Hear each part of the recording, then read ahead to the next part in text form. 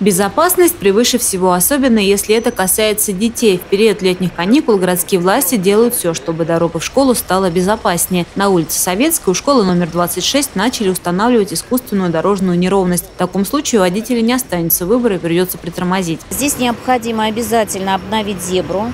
Здесь необходимо спилить